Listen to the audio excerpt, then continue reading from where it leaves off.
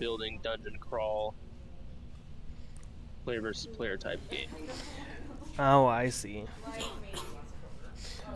Hmm. And I was thinking uh, we can use ideas from Clash Clans with creating a a uh, a village for like resource gathering. Because the only way in the game you can get resources, I think the only resources resource in the game was gold.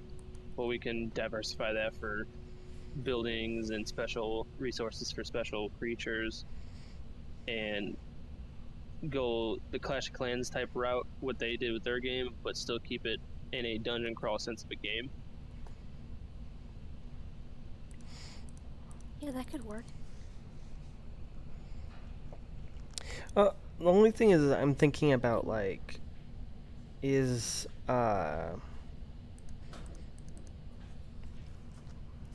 is is.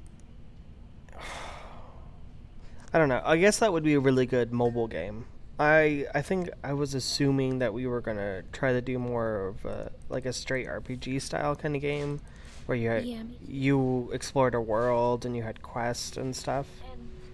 And, And I also, my main concern with that is multiplayer games do require like having a lot of money to host servers, and we don't have that.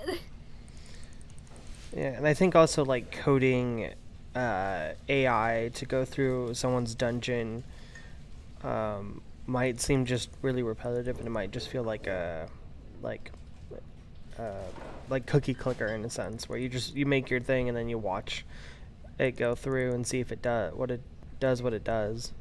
Well, as soon as we get a game going, and assuming that we get uh, the game decently good.